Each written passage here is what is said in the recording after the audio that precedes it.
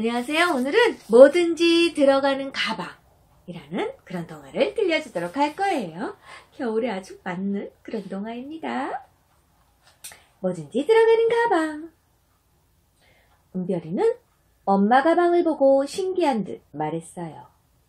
엄마, 엄마 가방에는 뭐든지 다 들어가네요. 그럼 이 가방은 참 편하고 좋아. 은별이도 만들어줄게. 엄마는 폭신폭신한 털실로 가방을 짜주었어요.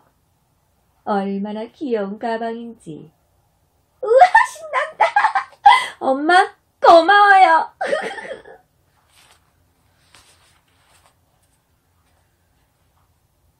은별이는 날아갈 듯이 기뻤어요.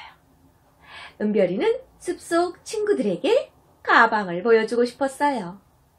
그래서 가지고 있는 것을 모두 가방에 넣었어요. 전부 들어갔다. 준비 끝! 출발! 은별이는 숲으로 갔어요.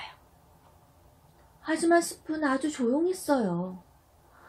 아, 오늘은 추우니까 모두 집에 있나 봐. 은별이가 실망하고 있는데 생쥐 한 마리가 나타났어요. 우와, 은별아, 멋진 가방이네. 고마워. 뭐든지 다 들어가는 가방이야. 우. 그럼 내가 들어가도 돼? 에이, 물론이지. 은별이는 가방 주머니에 생쥐를 넣었어요.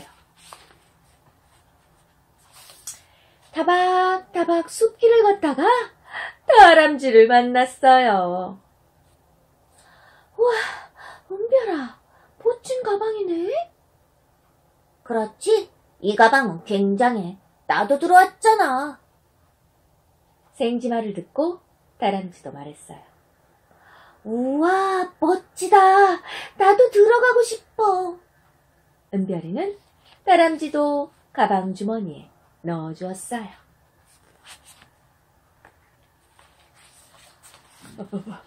어, 추워. 어, 추워. 오늘은 왜 이렇게 추운 걸까? 어디선가 목소리가 들려왔어요.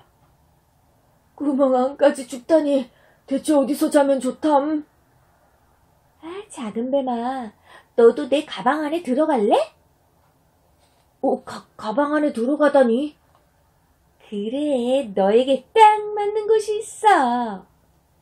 우와, 어, 딱 맞네. 은별이 가방 어, 굉장하다. 작은 뱀도 무척 기뻐했어요. 그때 토끼 한 마리가 그 모습을 보고 있었어요. 은별아, 은별이 가방 어, 너무 따뜻할 것 같아. 어, 나도 작았다면 가방에 들어가게 해달라고 부탁했을 텐데. 은별이는 토끼가 마음에 걸렸어요. 토끼야, 너도 들어와. 하지만 나는 커서 가방에 들어갈 수 없을 거야. 괜찮아. 내 가방은 뭐든지 들어가는 걸. 어, 따뜻해. 은별아, 고마워. 은별이는 짐을 모두 꺼내고 토끼도 넣어주었어요. 모두 은별이 가방 안에서 새근새근 잠이 들었죠. 아, 내 가방은 정말로 좋은 물건이야. 문득 은별이는 좋은 생각이 떠올랐어요. 은별이는 따뜻한 봄이 올 때까지 폭신폭신한 가방을 빌려주기로 마음먹었어요.